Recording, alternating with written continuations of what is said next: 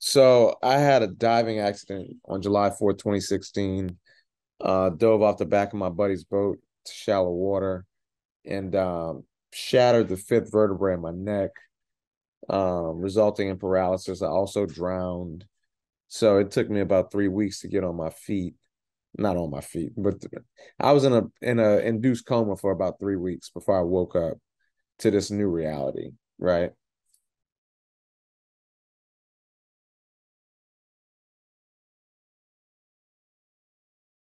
Um, well, it's a completely new life, right? I, I think the healthcare system is just a part of that.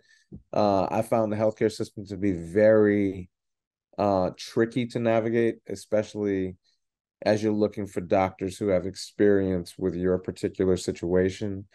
Um, so for me, is it, it, it's having a urologist that really understands, uh, primary care physician that has accessible facilities, as well as gets uh, or has experience, you know, with with people with spinal cord injuries, um, and then more intentionally, uh, I feel like insurance dictates so much of the cover that we we get. I'm sorry, the care that we get, um, and and so often like it, it's not enough, right? Like the first, I, I think I was discharged from outpatient physical and occupational therapy um, within my first year because you aren't making functional gains. So they call it a plateau, and they're not there to pay for continued maintenance.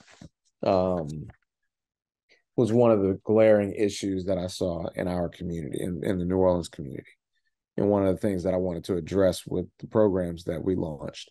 Another big one is like access to mental health care, right? Access to um, quarterbacks in a sense that can help guide you to resources and care. Um, those are the biggest barriers that I see um, missing in the continuum of care process. Um, but the you know healthcare is just one one part of it, um, and it's it's a massive industry, right? Like the healthcare industry is the number one industry in the country.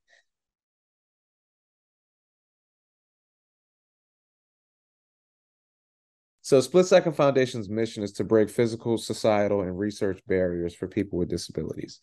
What that means is I attack um, specific problems and try to provide solutions for them, whether that's um, in transportation and advocacy or housing and scaling and creating a like we're right now we're working on a housing project um, that would be 100% universal design apartment complex, right? On the societal stuff, there's no fitness centers specifically for people with disabilities, right?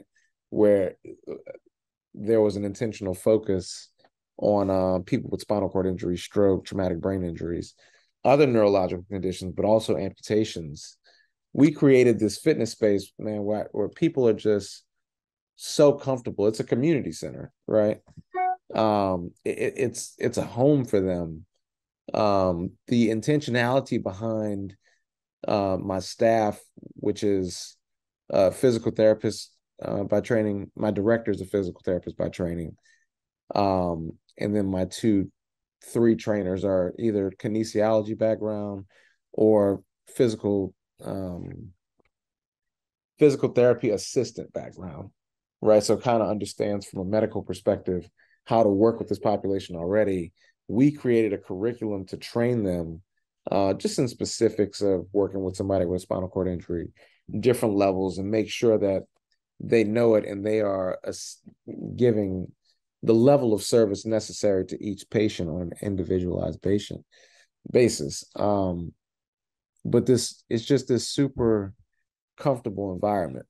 So that's our split second fitness program. And then the CARES program we connect um, the same population with um, with mental health professionals that can either connect with them on a one-on-one basis.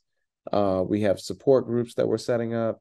We do music and art therapy, and then on the other side of that, um, we are connecting them with different state resources that are available that are just sometimes the application process is the barrier, right? Like it's just tricky for some people to navigate. And so we we're calling it a uh, um, resource navigation component to that program to split second cares.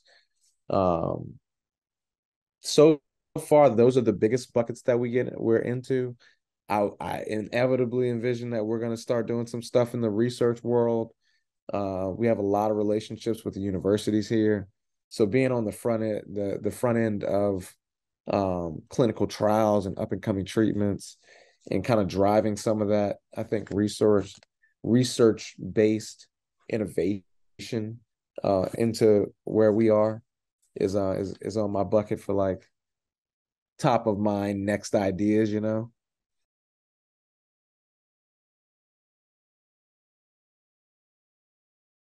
Man, I think the ADA hasn't been updated in 30 years.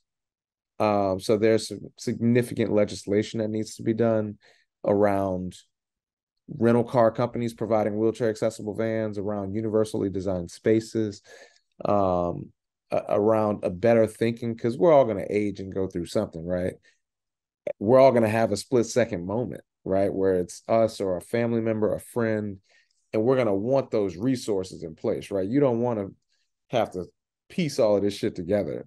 Um, like I did. So me lending my personal experience back and you know that that experience I think um using it and others experiences to shape what public policy looked like around accessible transportation, um, accessible housing, accessible and affordable housing, um, the insurance provider system, like if you have a spinal cord injury or a stroke or something like that where you you like you're paralyzed and your body needs to move still you should have coverage for services like mine that are offered whether that's physical therapy or a fitness based model right? Like that should be a part of your insurance coverage.